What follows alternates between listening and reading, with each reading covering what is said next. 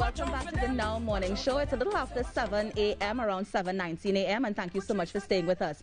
I'm going to be talking to a gynecologist and an obstetrician because this is our health and youth segment and basically, well, body and youth segment. And that focuses on just educating you about your body and about things that can help you promote a really, really healthy lifestyle. And I'm interested about this topic because we're going to be speaking about women's menstrual cycle and how the vaccine may or may not affect it. So on the line with me, I have Dr. Sherene Kalloo, who is a gynecologist, and she has been practicing for 30 years. Dr. Kalloo, good morning. Hi, good morning. Good morning to you. How are you? Trinidad and Tobago. I am very well, thank you. I hope you're good as well. Yes, I am. I'm actually good because I really, really want to just jump into this topic. Um, so I know that um, we are talking about, you know, the vaccine and its effect on the menstrual cycle. But first of all, what is a normal menstrual cycle for a woman? And even so, what differs between, let's say, a 28-day cycle and a 30-day cycle?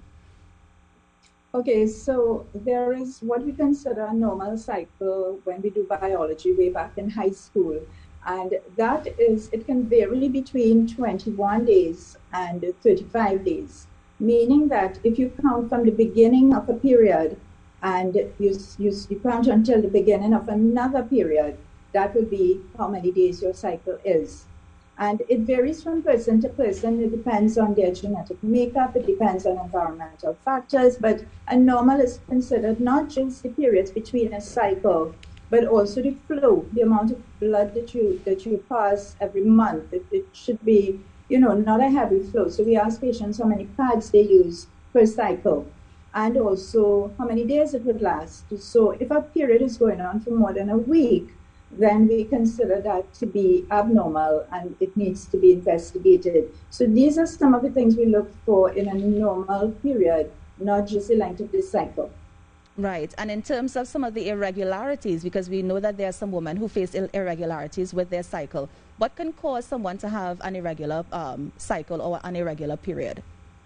So there are a host of reasons, and hence the reason why we tell you you need to check your gynecologist if you may be seeing an irregular cycle over a three month period.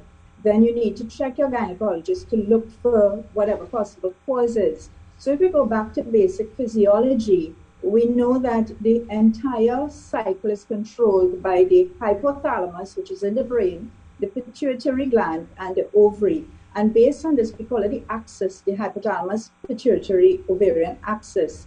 And based on this, we would be able to determine hormonal changes or physical changes that can affect your menstrual cycle. So, you know, each cycle that comes, there are hormones that are released. So, very basic, we have estrogen in the first part of the cycle. Um, it increases to the point where we get ovulation or release of the eggs. And 14 days after that, the progesterone levels go up, and that um, if you don't have a, a pregnancy, fertilization and pregnancy, you get a menstrual period. So that would be 14 days after ovulation.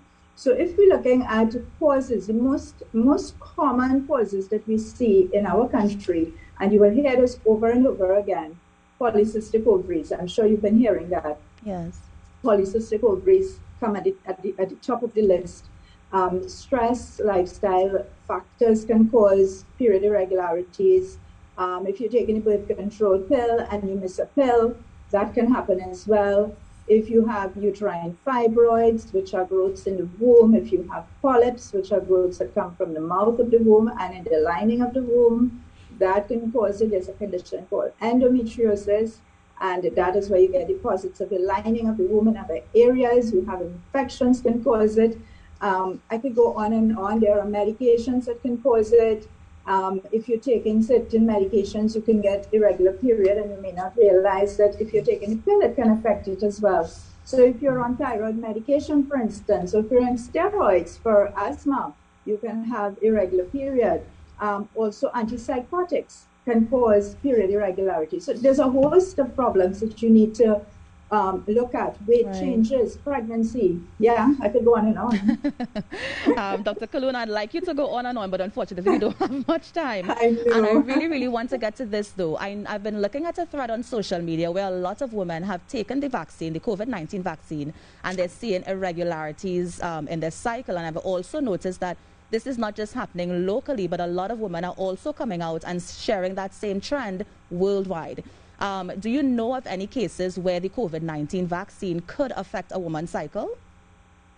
So you see that that's a very interesting question because having said what I just said with regard to um, irregular periods being caused by a host of other problems, yes, we have been seeing what we claim to be an association of period irregularities. So yes, I have had patients call me and say, Doc, I missed a period, or Doc, my period came heavier, or it came a little scanty, or in even menopausal women there are some who say that they bleed after menopause. However, we cannot just assume that it's a vaccine that may have caused it. Whether or not it's a vaccine, these bleeding issues need to be investigated because you don't want to miss pathology that can be a problem. But yes, I, I did come across a lot of what we call an anecdotal um, stories about the period irregularities, there have not been any confirmed studies. And this is difficult to study, obviously, because there's so many factors, a stress-related factor as well, that can cause the period irregularity. However, it's nice to know if a patient is getting a vaccine that she might be given the, the idea before. If you do get any menstrual irregularities, but it persists. Please check your doctor because we're not confirmed in the, the cause of it. Yeah. And actually, Dr. Kalloo, you, you, I think you make a very interesting point, which is why I wanted to talk to us or, or have the viewers listening on this conversation because I think a lot of women are just saying that, you know, they're taking the vaccine and they're getting this um, irregular cycle, but they're not also taking in the other factors as well that can cause that irregularity. And I'm glad you're here to uh, share that with us. Do you know, though, however, Dr. Kalloo, about any cases where there might have been maybe, you know, severe hospitalizations or severe illness as a result of taking the vaccine? Um, with regard to bleeding, I'm assuming that you're asking. Yes, yes. So, yes, I personally don't know of any. I did not come across any cases in my in my reading. But again, it would be difficult to prove whether the vaccine is what may cause bleeding problems. So if you have a patient who may have had a heavy bleed or hemorrhage, as we would call it, and she suffers with anemia as a result of the bleeding, she will be hospitalized, yes.